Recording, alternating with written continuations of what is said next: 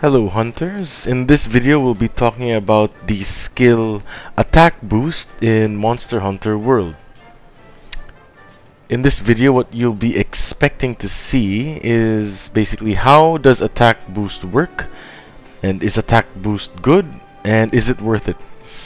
This kind of discussion is a little complex so I'll be linking in the description a text guide for with more information for you.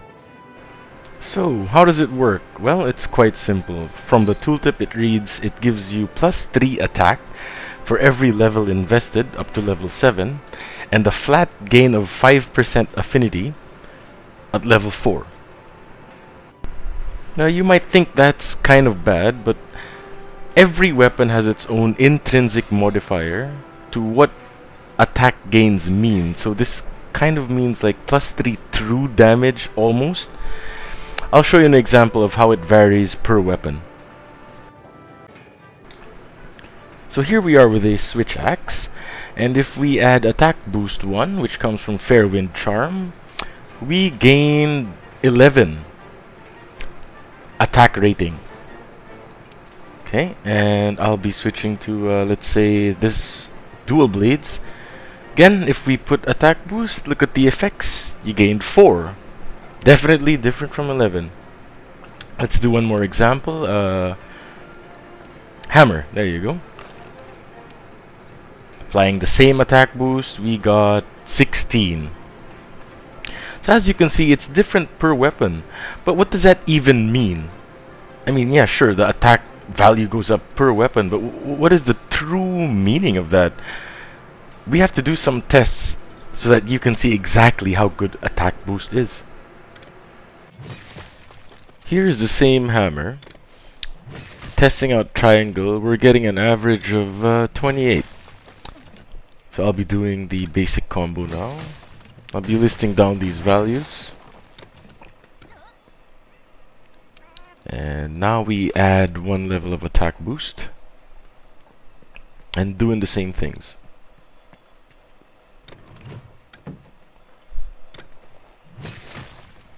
we now got 29 which is an increase of 1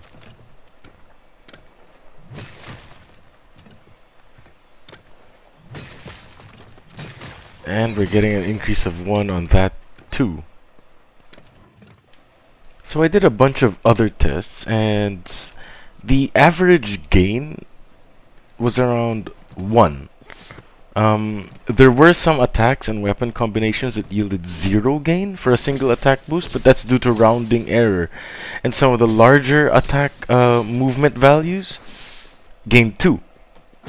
But yeah, for the most part, you could put it at one. From 30 to 31 damage, if the average of your moves is 30 and you gained 1, that's 3.33% increase, which is actually pretty huge but from 50 to 51 that increased deflates to 2% that's still quite strong for a single skill. 2% increase is great. But with this trend you start to see the problem. If you're juiced up with uh, mega demon drugs you're sniffing that demon powder and you're popping the might seeds, uh, an average damage of 100 isn't unrealistic, and increasing that by 1 really dilutes every point of attack boost to what? 1% or even less. So, is attack boost good? Well, the short answer is yes. Uh, most builds benefit from it. I mean, no matter how little, it, it it's very easy to see that most builds will definitely benefit from it and it serves as a baseline skill to compare all other offensive skills. Why? First of all, there are seven ranks and it comes as a small decoration slot.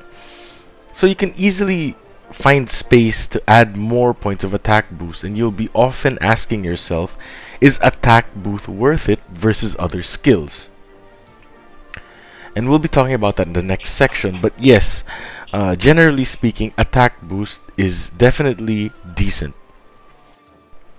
So let me talk a little bit more about uh, attack boost. So basically it's a strong filler but you gotta test it out first if it's the best for your build.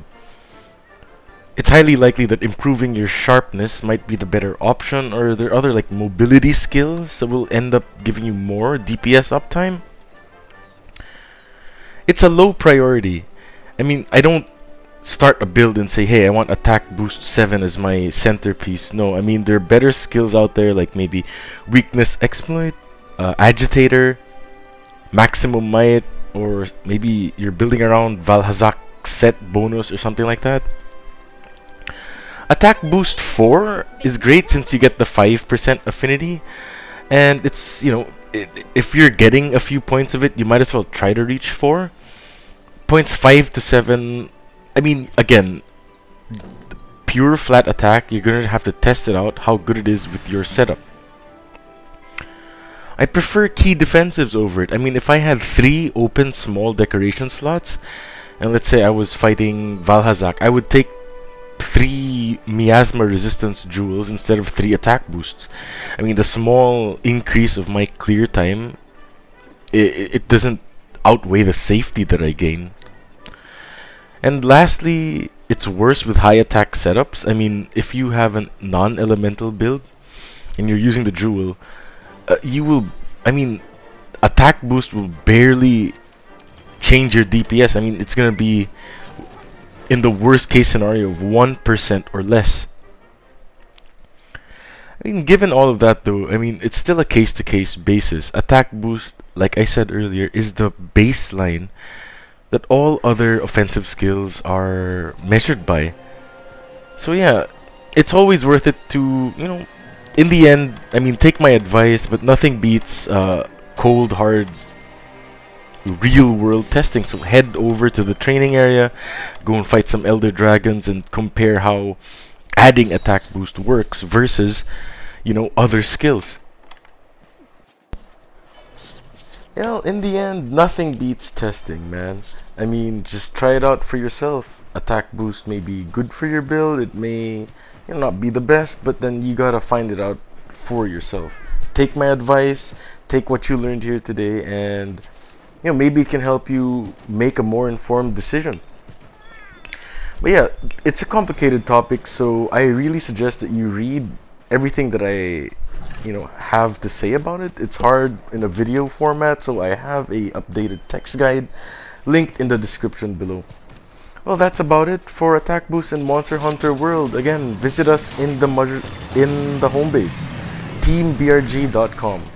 Thanks and happy hunting, guys.